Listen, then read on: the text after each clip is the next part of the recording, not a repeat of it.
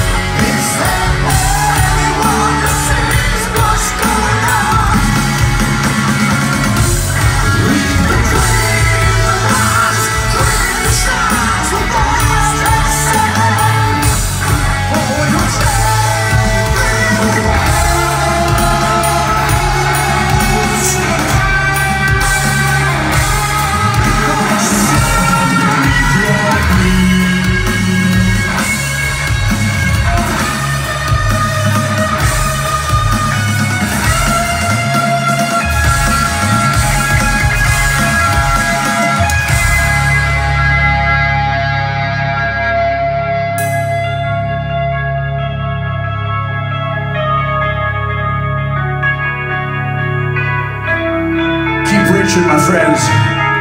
Keep preaching.